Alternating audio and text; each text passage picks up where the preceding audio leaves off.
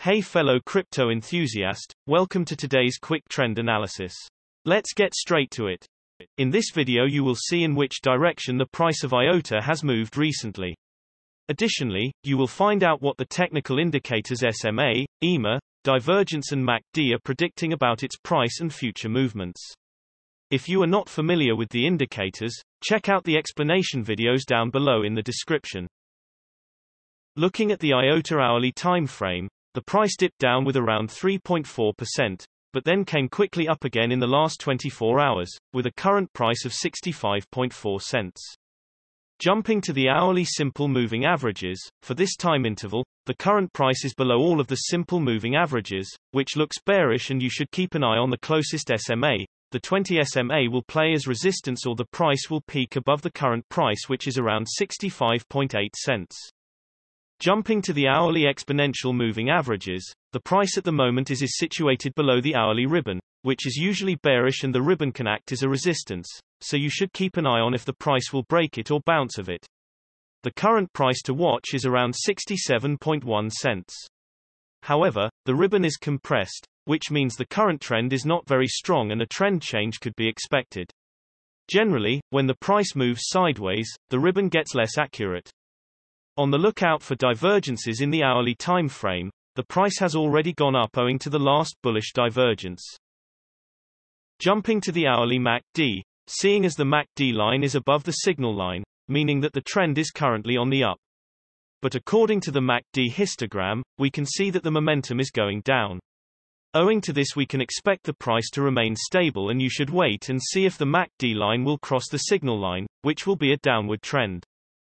Moving to the three-hourly simple moving averages, the price has crossed the 20 SMA downwards but it's not a very strong signal that the volume hasn't been very high.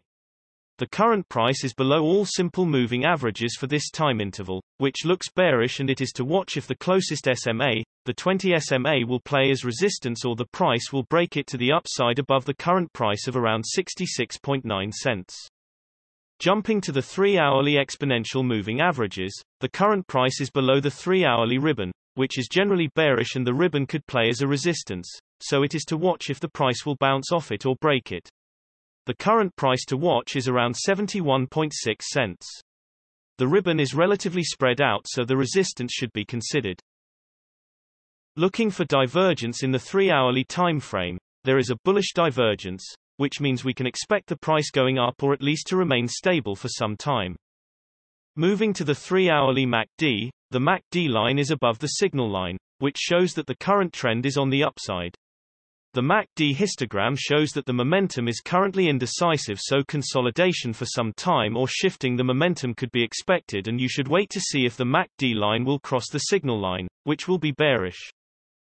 Moving to the daily simple moving averages, the current price is below all simple moving averages for this time interval, which looks bearish and it is to watch if the closest SMA, the 50 SMA will play as resistance or the price will break it to the upside above the current price of around 76.3 cents.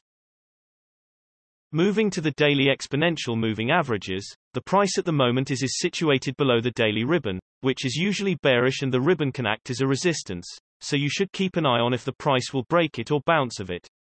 The current price to watch is around 79.9 cents. Nevertheless, a trend change can be expected owing to the ribbon being compressed, which means that the trend is currently not very strong. Jumping to the daily MACD, the MACD line is below the signal line, which shows that the current trend is on the downside. The MACD histogram shows that the momentum is currently indecisive so consolidation for some time or shifting the momentum could be expected and it is to wait to see if the MACD line will cross the signal line, which will be bullish. In general, the larger time frames have a greater impact on the price, so please remember that when we display different time frames with different indicators. And also the shorter time frames are only representative for the short-term trading. Thanks for watching. New videos are uploaded every few hours analyzing various cryptocurrencies, so be sure to subscribe so you don't miss out. If there is something that you didn't understand, leave us a comment below and we'll get back to you. You should know that trading with cryptocurrencies is very risky and these videos are only an overview of what happens with the price and a pure technical analysis without considering the fundamentals. so you should read more and make your own investing decisions. See you next time.